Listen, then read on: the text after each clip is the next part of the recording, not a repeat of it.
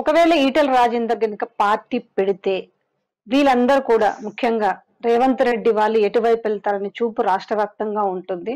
ఒకవేళ అటువైపు అడిగేసే అవకాశాలు ఏమన్నా ఉండే అవకాశం ఉందా? అంటే ఇప్పుడు మేము ఒక కాంగ్రెస్ పార్టీలో ఒక బలమైన జాతీయ పార్టీలో ఉన్నాం. తర్వాత రేవంత్ రెడ్డి గారికి కూడా ఇవాళ కాంగ్రెస్ పార్టీ అంటే తక్కువ కాలం అయినా కూడా కాంగ్రెస్ పార్టీ కానీ నాయకులు కానీ ఆయనను పూర్తిగా కాంగ్రెస్ పార్టీలో కలుపుకోవడం జరిగింది. ఈరోజు సామాన్యమైన కార్యకర్త కూడా రేవంత్ రెడ్డి గారు పిసిసి ప్రెసిడెంట్ అయితే బాగుంటది.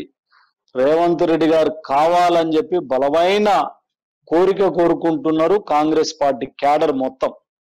దాదాపు తొంభై నుంచి తొంభై ఐదు శాతం.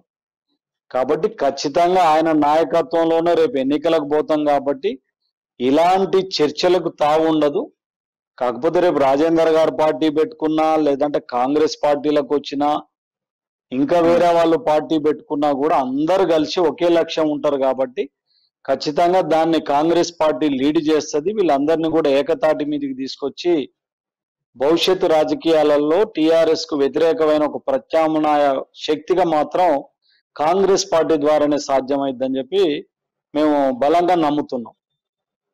ఇక్కడ ఒక విషయము ఇప్పటి వరకు అందరూ కలిసి చాలా శక్తులు కూడా అన్ని ఏకమై కేసీఆర్ని గద్దెదించాలని అనుకుంటున్నారు.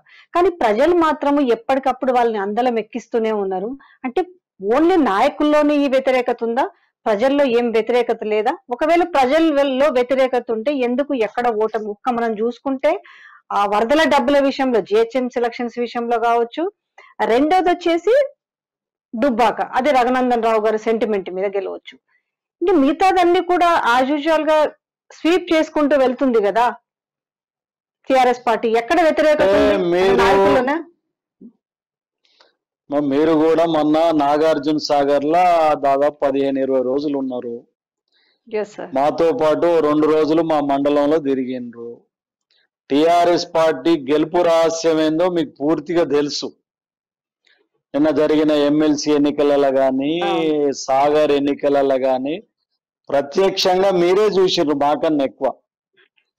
ఒక్కొక్క ఎన్నిక వంద నుంచి నూట యాభై కోట్లు ఖర్చు పెట్టి విచ్చలవిడిగా నాయకుల్ని కొనుక్కొని ప్రజల్ని కొనుక్కొని ఈరోజు ఎన్నికలు చేస్తున్నాడే తప్ప ప్రజల వైపు నుంచి ఎక్కడ కూడా ఆయనకు స్పందన లేదు.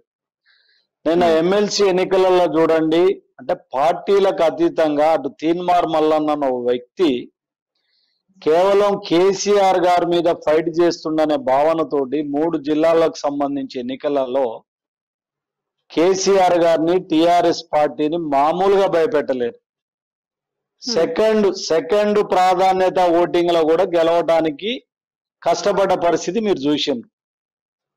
ఇక్కడ ఇంకొక విషయం తీన్మార్ లేదు లేదు. తీర్మానం తీన్మార్ మల్లన్న విషయం ప్రస్తావనకు వచ్చింది కాబట్టి ఇప్పుడు మాట్లాడాల్సి వస్తుంది.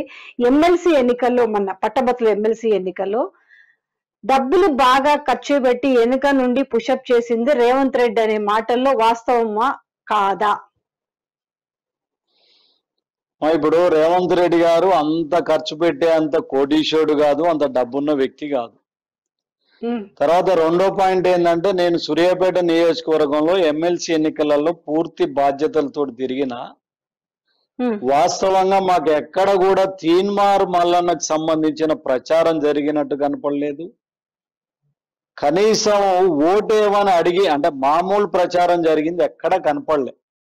అంటే ఒక సోషల్ మీడియా ద్వారా జరిగిందే తప్ప నాకు తెలిసి అత్యంత తక్కువ ఖర్చు పెట్టింది తీన్మార్ మల్లన్ననే. అసలు ఆయనకు ఖర్చు పెట్టే అవకాశమే లేనప్పుడు రేవంత్ రెడ్డి గారు పైసలు ఇచ్చే సందర్భం ఎక్కడుంది చెప్పండి? కానీ మరి పెంచి పోషిస్తుంది రేవంత్ రెడ్డి అనే మాటలు మల్లన్ని పెంచి పోషిస్తుంది. రేవంత్ రెడ్డి అనేది కూడా ఒక చర్చ నడుస్తుంది. లేదు లేదు. ఇప్పుడు బాగా అంటే కాయలున్న చెట్టుకు రాళ్ళు ఎక్కువేస్తారని రేవంత్ రెడ్డి గారిని బదనాం చేయాలని కానీ రేవంత్ రెడ్డి గారికి ఉన్న పాపులారిటీని తగ్గియాలని చెప్పి కొంత చర్చ జరగవచ్చు కానీ రేవంత్ రెడ్డి గారు కూడా ఈరోజు కేసీఆర్కు వ్యతిరేకంగా పనిచేసేటోళ్ళకు ఆయన మద్దతు ఇస్తున్నాడు. రాజకీయమైన మద్దతు కానివ్వండి అంశాల వారీగా మద్దతు కానీ ఆయన ఇస్తున్నాడు.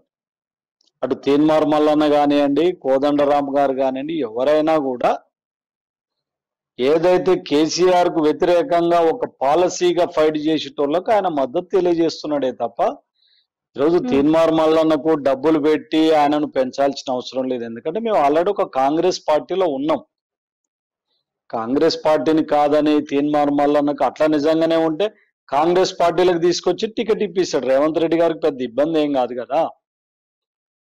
ఆయనను ఏదో బయట పెట్టి పెంచి పోషించాల్సిన అవసరం లేదు. అది తప్పు. అట్లాంటి కోదండరామ్ గారు కూడా చాలా దగ్గర రేవంత్. వాస్తవంగా తెలంగాణ ఉద్యమకారుడు. మరి ఆయన కూడా డబ్బులు ఇచ్చిండ్రని అంటారా? అట్టట్లేదు. ఆ ఈక్వేషన్స్ వేరు కదా. అలా అనుకుంటే ఎవరో ఒకరు నిలబడే వాళ్ళు కదా. ఇప్పుడు ఎవరు కుంపటి వాళ్ళలాగా మొన్న కనుక ఎమ్మెల్సీ ఎలక్షన్లో కూడా ఒక తాటి పైకి వచ్చి ఇప్పుడు ఏమైంది చెప్పండి? నిజంగా చెప్పాలంటే కోదండరామ్ గారు కావచ్చు చెరుకు సుధాకర్ కావచ్చు ఒకవైపు రాణిరుద్రమ్మ కావచ్చు మరొక వైపు తీన్మార్ మల్లన్న మరొక వైపు ఇవన్నీ కూడా ఏమైనా ఎవరిది కుంపటి వాళ్ళకు ఉండడం వల్ల ఓట్లన్నీ చీలిపోయినాయి కదా. అంటే ఇక్కడ అనుమానించడానికి ఆస్కారం లేదు. కాకపోతే ఈ రోజు తీన్మార్ మల్లన్న వెళ్తున్న ఒక ధోరణి చూస్తుంటే మాత్రం ఖచ్చితంగా రేవంత్ రెడ్డి సపోర్టే చాలా పెద్ద స్థాయిలో ఉందనే విమర్శలని కాదు కానీ మాటలు అయితే వస్తున్నాయి. లేదండి లేదు. అంటే నేను రేవంత్ రెడ్డి గారిని చిన్ననాటి నుంచి చూస్తున్నా. ఆయన ఆర్థిక పరిస్థితులు కూడా తెలుసు. ఆయనకి ఏదో లక్షల వేల కోట్లు ఉన్న పరిస్థితి లేదు.